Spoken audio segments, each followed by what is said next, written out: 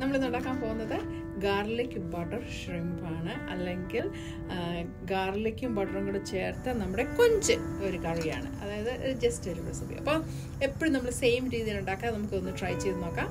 അപ്പം ഞാനിവിടെ ഒരു അര കിലോയോളം ഷ്രിംപ് എടുത്തിട്ടുണ്ട്. അതൊരു വൺ ഫോർത്ത് ടീസ്പൂൺ ബേക്കിംഗ് പൗഡറാണ് ഇട്ടത്.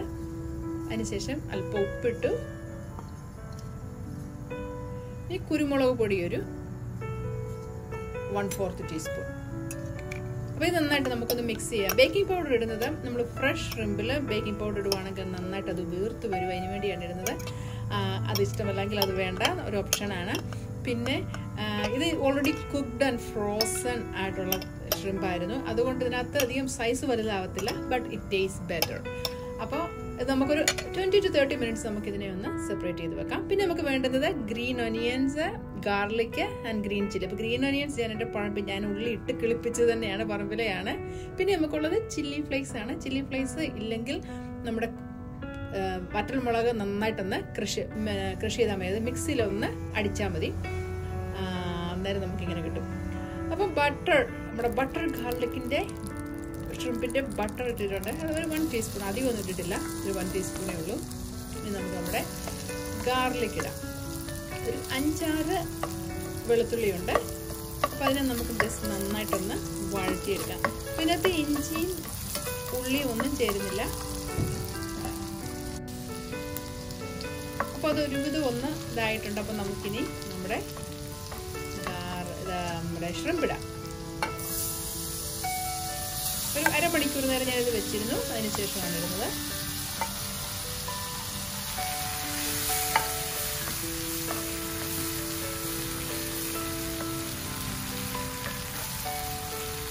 അപ്പോൾ ഇത് നമുക്ക് ഹൈ ഫ്ലെയിമിലിട്ട് ഒന്ന് ജസ്റ്റ് ഒന്ന് മുറിച്ച് ഓൾറെഡി വെന്തതായിട്ട് ഞാൻ ഹൈ ഫ്ലെയിമിലിട്ട് ജസ്റ്റ് ഒന്ന് മുറിച്ചെടുക്കുന്നേ ഉള്ളൂ. ജസ്റ്റ് ഫ്രഷ് ഷ്രിമ്പ് ആണെങ്കിൽ ഒരു പക്ഷേ അല്പം കൂടെ കുക്ക് ചെയ്യേണ്ടി വരുമായിരിക്കും.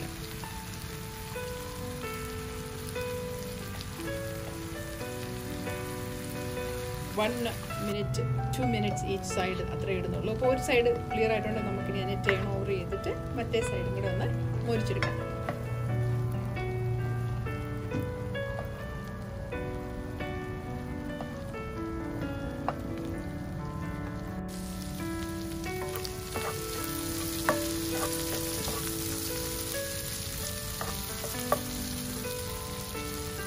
നെക്സ്റ്റ് ഇതിടുന്നത് സോയ് സോസ് ആണ്.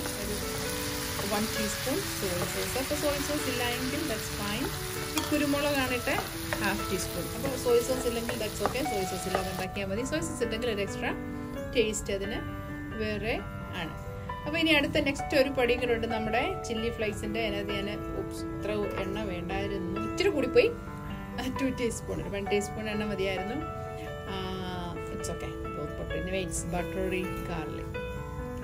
Shrimp so നമുക്ക് ഈ ചില്ലി ഫ്ലേക്സിനെ ജസ്റ്റ് അതിനകത്ത് ഇട്ടൊന്ന് ഒന്ന് വഴറ്റി ഒന്ന് വറുത്തെടുക്കാം. അപ്പോൾ ഇതുവരെ ഈ ചാനൽ ഇതുവരെ കണ്ടിട്ടില്ലെങ്കിൽ ആദ്യമായിട്ടേ കാണുന്നതെങ്കിൽ ഇതുവരെ സബ്സ്ക്രൈബ് ചെയ്തിട്ടില്ലെങ്കിൽ സബ്സ്ക്രൈബ് ചെയ്യാൻ മറക്കരുത്.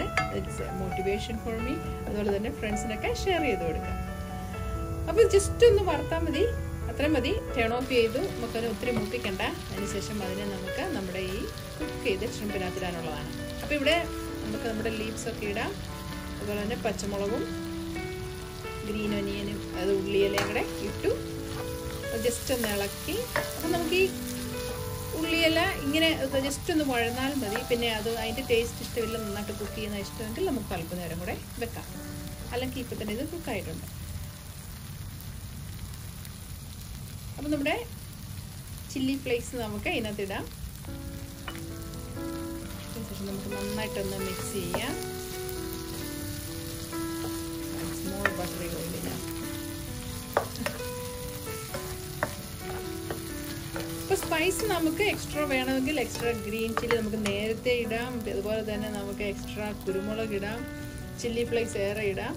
ഇപ്പോൾ ലാസ്റ്റ് മല്ലിയിലയാണ്. ജസ്റ്റ് ഒരല്പം മല്ലിയിലയും കൂടെ ഇട്ടു.